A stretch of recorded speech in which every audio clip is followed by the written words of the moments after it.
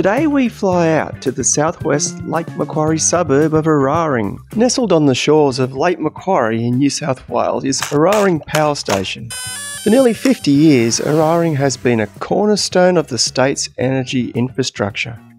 It is Australia's largest power station. The site of Eraring was selected due to its proximity to coalfields, large amounts of water for cooling, and the availability of land, which consists of around 150 hectares.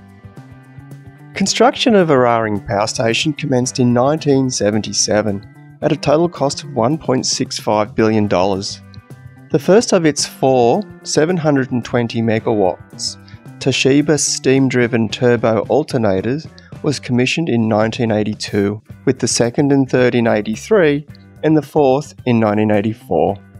The plant has two smokestacks, 200 metres in height.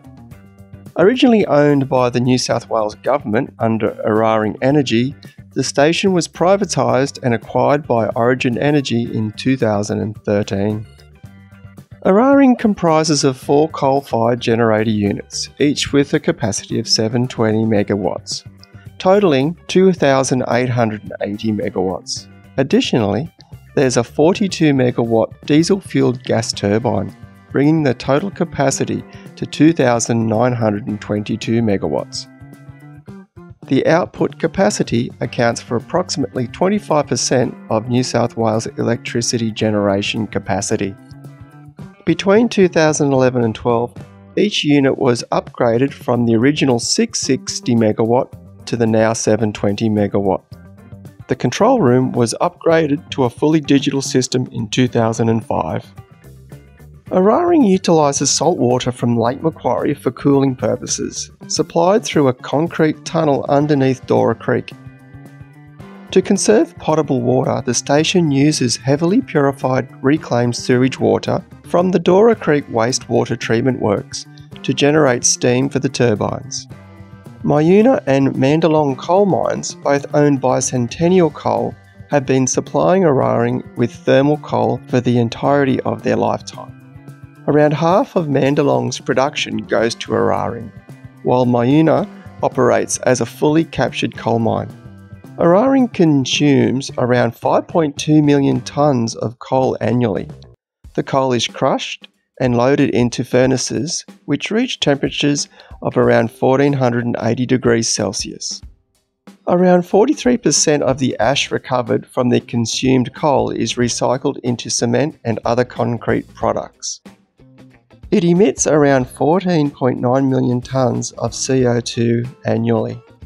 Originally slated for closure in 2025, the New South Wales Government extended Eraring's operational life to August 2027 with potential operations being extended until 2029. This extension aims to ensure energy reliability during the state's transition to renewable sources. In 2024, the station experienced approximately 6,000 hours of outages across its four units, highlighting challenges in maintaining an aging infrastructure. As part of the transition to renewable energy, Origin Energy is developing a battery energy storage system. Once completed, the BESS will have a capacity of 700 megawatts or 2,800 megawatt hours, making it one of the largest in the Southern Hemisphere. This system will support grid stability when or if coal fired units are phased out. At over 17 hectares, or 24 soccer fields, it will host more than 2,000 individual battery enclosures and around 180 kilometres of cabling. At 2,800 megawatt hours, the Eraring battery will dispatch enough energy to power more than 150,000 New South Wales households annually. Assist variable renewable energy or top up supply from based outages. The Stage 3 BESS is anticipated to come online alongside Stage 1 at the end of 2025. Stage 2 which is the final stage, is anticipated to come online in the first quarter of the 2027 calendar year.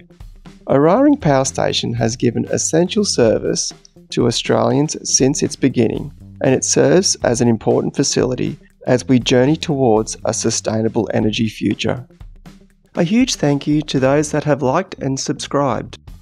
feel free to leave comments below. And I hope to catch you on the next one.